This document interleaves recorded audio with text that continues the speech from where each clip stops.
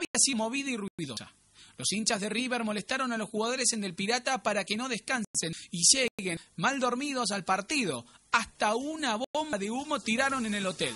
Ya tiene que tener un límite. Hay un límite. Pueden haber tirado bombas, pero hasta un límite. No se puede seguir toda la noche tirando bombas y nadie hace nada. Armando, la bomba de humo que tiraron dentro del hotel, ¿era gente que estaba hospedada en el hotel o no? Sí. Sí, la gente, así me lo dijeron acá los gerentes del hotel.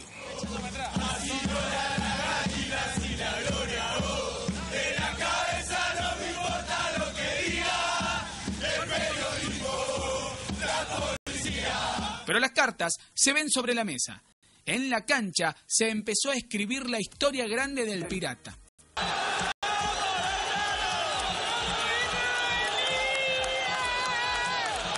Finito, pero y al fin, el celeste abría el marcador. Pero el gol no fue válido. El tiro libre lo pateó el hacha. Y al peinarla, el picante Pereira dejó adelantado a los que venían por atrás.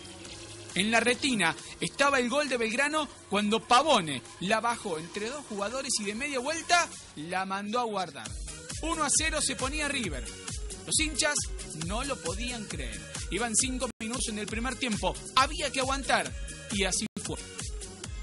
Pesota se equivocó para los dos lados. Targets que no se mostraron y penales que no se cobraron. Terminando el año pasado, Guillermo Farré fue papá. Belgrano estaba último y nombre le puso a su hijo Salvador. Cosas de la vida. Hoy el pirata es de primera y Farré hizo el gol de la historia.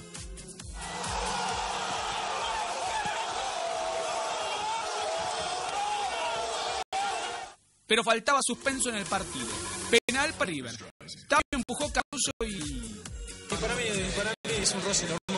Y yo le dije a Juan que le digo, salvame en esta, por favor, y le dije, obviamente, dije, salvate. Pavón generalmente patea al otro lado, fuerte, arriba, y me iba a tirar para ese lado, y, no sé por qué me tiré para... ¿Fue intuición? No, no sé si fue intuición, yo para mí me manda un tiste a la derecha que... Eh, y bueno, no sé. ¿Qué pensaste en el penal cuando atacó la antes que ataque la ¿Qué pensaste? ¿Qué quiere que piense? Se nos paró el corazón. Festejos en la intimidad, casi dos horas después de haber terminado el partido. Belgrano de primera y en las puertas de las aulas en el colegio de River quedaba la imagen de la categoría en la que jugará el Millo. Una categoría tan difícil como Nacional B, jugar tres promociones es muy meritorio. Eh, así que es muy merecido por, por el grupo y por la familia de, de, todos los compañeros que seguramente sufren al lado de nosotros. Había salido campeón con Las Palmas nada más. O sea que mirá vos, lo que a mí me regaló Dios de arriba es salir campeón con el equipo de cual soy hincha con Las Palmas y ascender con Belgrano, el equipo del cual también soy hincha. Entonces, con esas cosas a mí me bastan. Misión cumplida. Un sueño hecho realidad, una realidad histórica. Belgrano es de primera y ascendió en la mismísima cancha de River en el Monumental de Núñez, dejando el camino y haciendo que descienda este histórico equipo de primera división. Belgrano ahora jugará en la máxima categoría del fútbol argentino. Va a asumir como presidente de un club de primera. Así es, gracias a Dios. Misión cumplida. Sí, todavía tenemos que este, solidificar a Belgrano hacerlo que, que, pueda durar muchos años en primera y para eso hay mucho trabajo para hacer. Hay buena base esta vez. Sí, sí, claro, por supuesto que sí.